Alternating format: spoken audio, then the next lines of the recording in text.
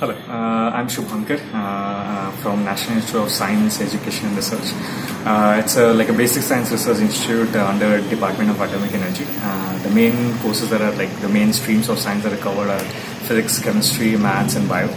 Uh, the School of Computer Sciences and the School of Earth Sciences were started like last year, and I joined into the School of Computer Sciences.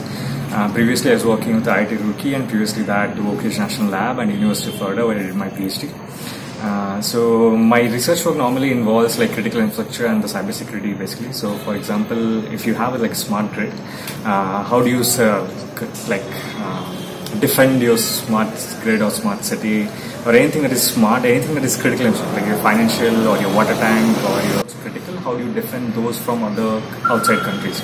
So specifically for uh, I work in basically cybersecurity, cyber threats, cyber attacks, and all those stuff.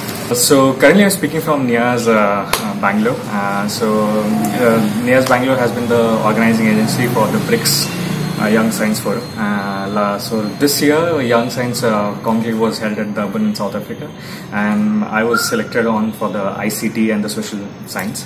Uh, and uh, there we discussed a lot of topics on how ICT can help with the social science media. And we, I connected with a lot of people from South Africa and Russia and China and Brazil. Uh, specifically, BRICS uh, gave a platform to connect with other people, like to recognize what all the public issues that can be solved with ICT. Uh, that relates to very much what I do, like the privacy and the security and all this stuff. And how do you defend people's privacy and uh, security from outside threats. And given the developing countries where everybody is getting a 4G mobile phone like uh, the day one and uh, they start sharing information all that stuff. So and they're open to attacks every day.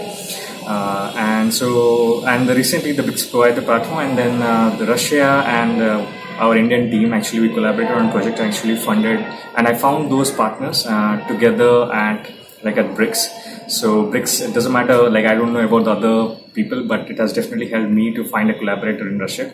Uh, so we together propo- submitted a proposal at the DST Russia and Indian collaboration.